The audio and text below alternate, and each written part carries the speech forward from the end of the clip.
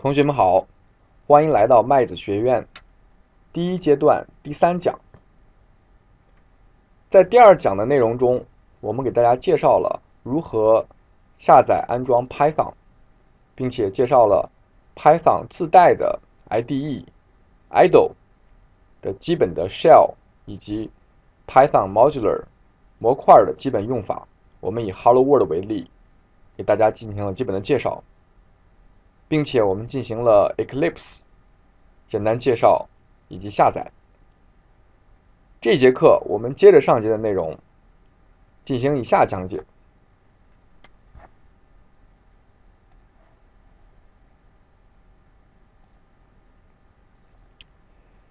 这一节课我们的目标是给大家介绍 Python 针对 Eclipse 的一个。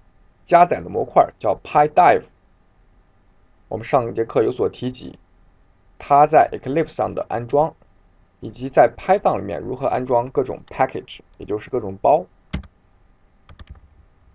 所以本节课内容分以下几个主题：首先，我们要同学们介绍理解一下 Python 的 interpreter，也就是 Python 里面的解释器。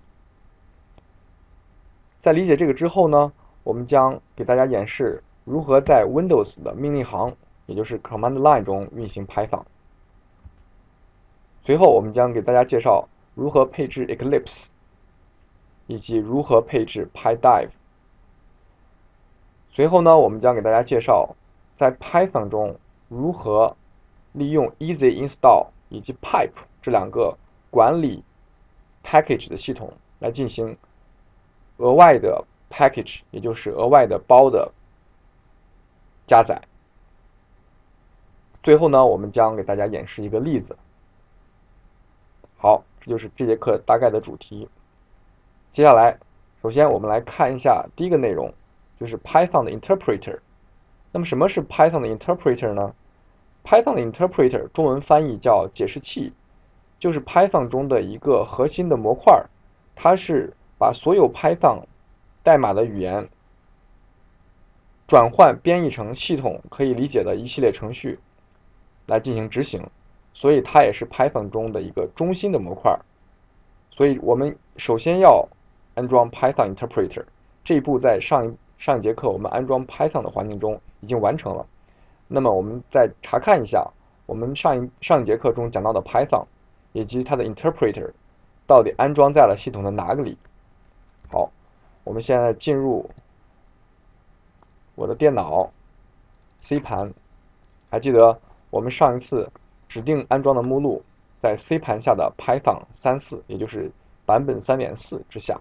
好，我们点进去看到这里有一个可执行文件，名叫 Python 点 exe。那么这里就是我们所说的 Python Interpreter 解释器所存在的位置。所以以后所有的代码。都需要通过 Python Interpreter 解释器来进行执行。好，这是首先 Python 解释器的内容。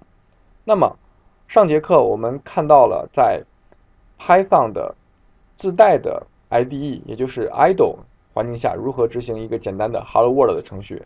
那么我们能不能在 Windows 的 Command Line，也就是命令行里面执行同样的事情呢？答案当然是可以的。不过呢，我们需要做一些配置。我们现在就给大家演示一下这个内容。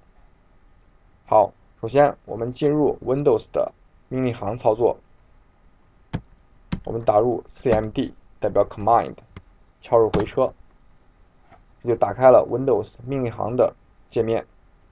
好，我们首先试一下，我们能否进入 Python 编辑器，通过命令行。那我们键入 Python，我们看到系统提示是错误。这是正常的，因为我们并没有配置环境变量告诉系统 Python interpret 的位置在哪，所以作为 Windows 的命令行，它觉得找不着 Python 作为一个合理的 command。那么我们需要做什么配置呢？很简单，所有的 Windows 命令行的操作，我们都需要在环境变量中告诉它我们所需要执行的任务的位置路径。我们先给大家演示一下如何在命令行中执行 Python。其实也很简单，就是说我们现在需要在 Python 的，我们已经看到了 Python 的 interpret 的位置，我们只需要把这个路径加在 Python 的命令行里面就好了。对不起，是加在 Windows 的环境变量里面就可以了。好，那么我们通过电脑属性。在这里有一个高级选项 Advanced System Settings，我们点开它，然后看到这里有一个环境变量的选项，我们点开它之后，在下面这个 System Variable，也就是系统变量里面有一个名叫 Path 的变量，就是这个变量。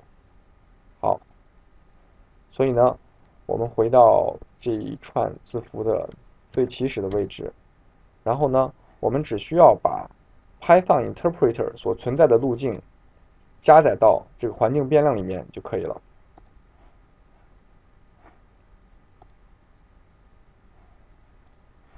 也就是 copy 这个所在的路径，然后我们加载到刚才所说的环境变量里面，再用一个分号隔开。好，我们点击确认，这时候。我们需要关闭命令行窗口，并且重新打开，刚才所做的改变才可以生效。重新进入 Windows 命令行界面，这时候我们重新来试一下，键入 Python。我们可以看到，现在就没有刚才的错误了，证明系统已经成功的找到了 Python interpreter 的位置。我们现在就可以在 Windows 的命令行里面执行 Python 的命令，或者直接键入 Python 的代码。所以同学们可以理解为，我们现在已经在命令行中进入了 Python 的一个编译环境，与之前我们在 Python 自带的 idle 里面看到的环境是一样的。那我们可以尝试一下执行一段 Python 代码，比如说我们同样键入 print hello world，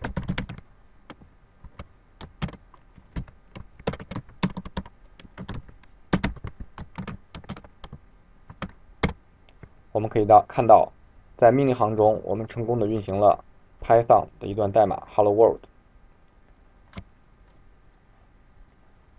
好，在理解了 Python Interpreter 以及在 Windows 的命令行中如何 run Python 之后，我们回到上一节的内容，也就是在 Eclipse 里面如何来成功配置 Eclipse 本身以及配置 PyDive。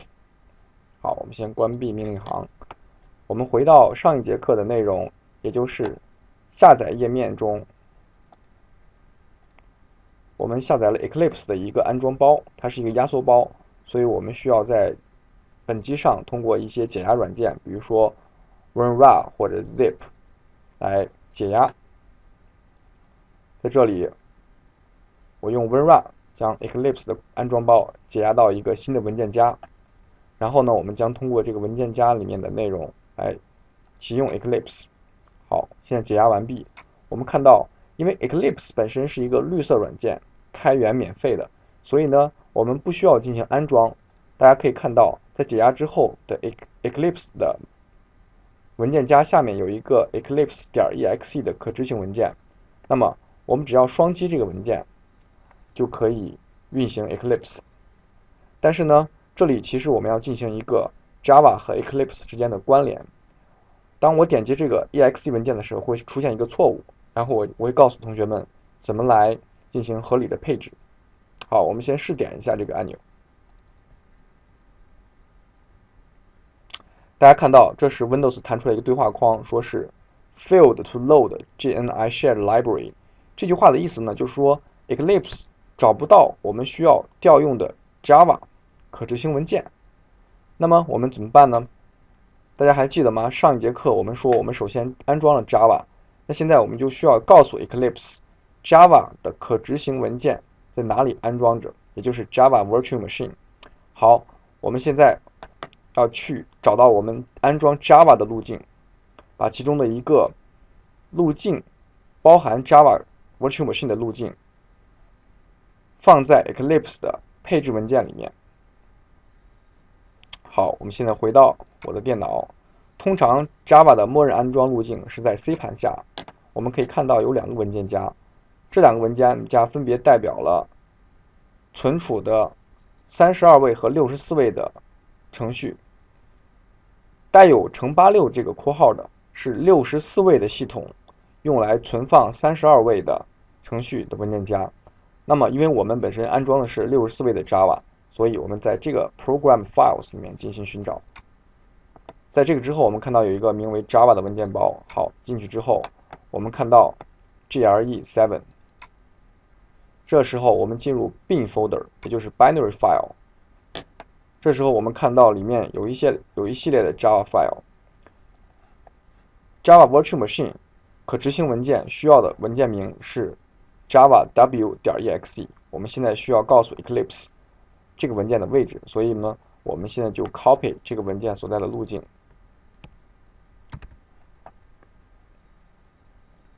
好，现在我们回到 Eclipse 的安装目录下。我们看到 Eclipse 里面有一个扩展名为 ini 的文件，也就是一个配置文件。我们现在需要用一个文本编辑器把它打开，然后在 Open File 后面的一行，我们需要加入一个参数，也就是第一行我们需要写一个划线 VM 代表 Virtual Machine，然后告诉他我们刚才所用的路径。的位置。好，我们保存这个 file，做了如下更改之后，我们再试一下，重新启动 Eclipse。同学们可以看到，这一次我们就可以成功的启动 Eclipse，它已经成功的找到了 Java 可执行文件的位置。首先，Eclipse 弹出来了一个对话框，询问我们现在需要。创建的默认的工作目录，那我们可以创建一个，比如说我现在专门为麦子学院创建了一个工作目录，点击 OK。Eclipse 的初始化需要 load 加载一些模块，所以需要几秒钟的时间来打开它的工作环境，所以我们稍等上两三秒钟。随后呢，我要跟大家介绍一下，简单的说一下 Eclipse 里面如何创建一个项目。因为我们现在还没有安装 Python 的加载环境 PyDive，所以现在我们在 Project，就是在我们创建一个新的项目的时候，只能看到我们可以创建 Java 的 Project。好，我们先做一个示范，可以简单的看一下。我们选择 Java Project。然后呢，在这里我们可以给项目起一个名字，比如说我叫 test Java，点击下一步，点击完成。这里呢就创建了一个新的项目，在新的项目之下有一个名为 src 的文件夹，也就是一个 folder，在这个之下是存储源代码的位置，所以呢，在这之下。我们创建一个 Java 的类。同学们如果不理解 Java 没有关系，我在这里只是想做一个示范，说我们可以成功的运行 Java 的代码，在我们安装 PyDev 之前。好，我现在叫它 test hello world，包括一个 main 函数在里面。这样呢，就创建了一个 Java 的类文件，它的结尾名是点 Java。我们在这儿简单的。Print 一行 Java 的代码，Java 的语法是这样的：system dot out dot print。我们可以看到比 Python 稍微复杂一些。Hello world，以分号结尾。好，我们现在运行一下这段代码。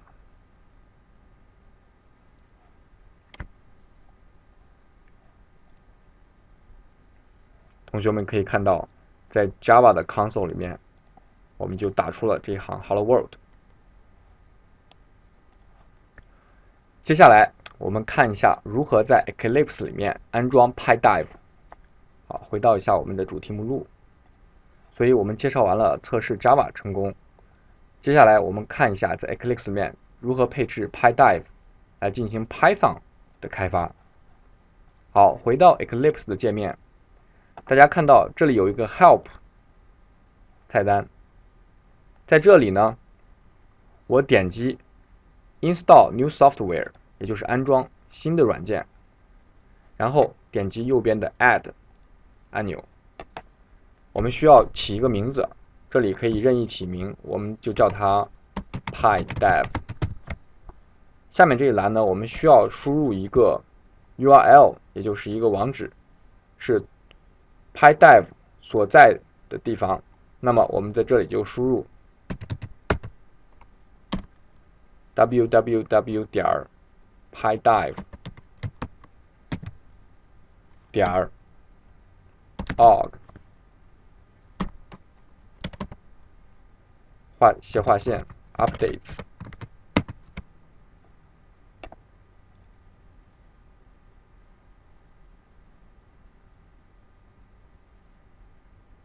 好，我们看到 Eclipse 成功的检测到了这个网址所包含的模块。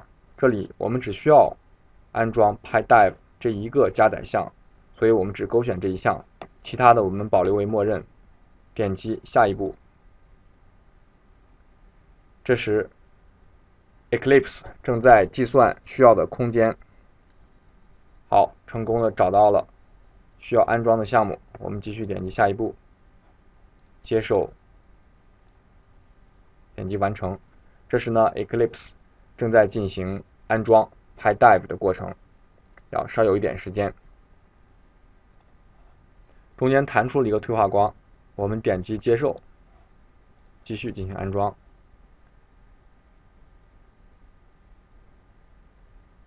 好，我们看到现在已经完成了对 PyDive 的安装。要求重新启动 Eclipse，我们选择 Yes。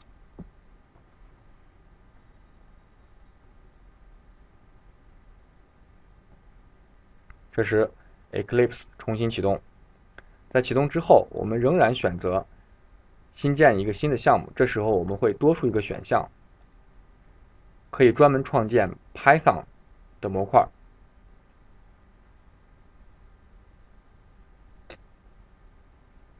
大家记得之前我们创建一个新的项目的时候，只能新建一个 Java 的项目。好，我们再看一下，我们点击这里有两个选项，一个是 Java Project，一个是 Project。我们选择 Project，然后我们看到这里多了一个选项 PyDive，说明我们成功的安装了这个 PyDive 加载项。当点击这个之后，我们有三个选项，前面两个我们暂时还用不到。是第一个是关于网络开发的一个项目，所以我们在这里选择 PyDev Project。下一步，我们需要给我们新建的项目取一个名字。好，我们就随便取一个名字，叫 Test Python。Hello，Test Python。下一步很重要，大家看到我们需要选择 Grammar Version，什么意思呢？就是说 Python 不同的版本。比如说，二点七到三点四之间，它的语法是发生了一些变化的。所以呢，我们要选择我们选所用到的 Python interpreter 对应的语法。这里，因为我们本机上安装了 Python 三点四的版本，所以我们需要把 Grammar version 切换到三点零，也就是三点零以上的版本，它的语法是统一的。接下来呢，我们需要选择，要知道让 Eclipse 知道我们需要用。哪块的 Python interpreter，也就是我们之前安装的 Python interpreter 的位置。好，所以呢，我们点击这个 Please configure an interpreter before proceeding。我们选择手动的选项。这里我们需要做的是加入当时我们安装 Python interpreter 的路径就可以了。所以我们选择新建。我们可以起一个名字，比如说叫 Python 三四。也就是 Python Interpreter 3.4的版本。接下来呢，我们来选择 Python Interpreter 所在的位置。大家还记得我们安装了在了 C 盘，所以我们先点击 C 盘进去之后，我们看到我们刚才安装的 Python 3.4。好，就是这个位置，所以我们选择这个文件 python 点 exe，open，然后确认。这时候呢，Eclipse 会自动检测到 Python 三四里面所带有的 packages 和别的需要的组成文件，我们只需要点确认就可以了。好，我们需要等一点时间在这里。OK，这时候呢，我们就成功选择了 Python 的 interpreter，然后我们可以选择 Next，选择到我们刚才创建的，我们不需要选择这个文件，因为这个是用来 test Java 的。好，所以我们现在点击完成。这个对话框呢是告诉我们。我们刚才的开发环境是针对 Java 的，现在这一个 perspective 也就是一个环境要转换到 Python，我们点击确认。好的，大家看到我们现在有两个 project，下面这个呢就是我们上面这个就是我们刚建的针对 Python 的一个 project。好，我们现在可以简单进行一个测试。我们先关掉刚才 Java 的这个 project。好，在 Python 里面。基本单元组成是一个叫 Python Modular 的一个基本模块，所以我们现在建一个 Python 基本模块。我们先不取一个包的名字，只是一个模块的名字。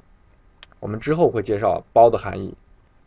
好，这里我就叫 Python，我就叫 Test Hello World，完成。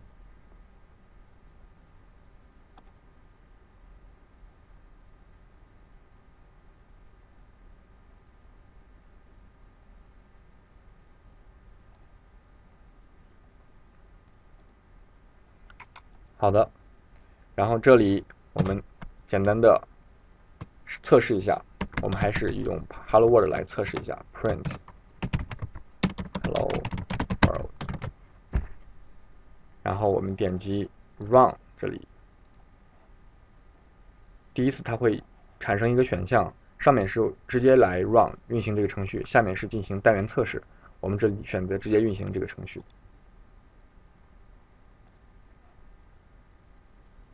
好，我们现在看到 Eclipse 里面，我们成功了，成功的配置了 PyDive，并且运行了 Hello World 的程序。由于时间的关系，我们将留到下一节课，给大家来介绍 Python 中对于额外的包的安装，利用 Pipe 和 Easy Install。好，这节课我们就讲到这里。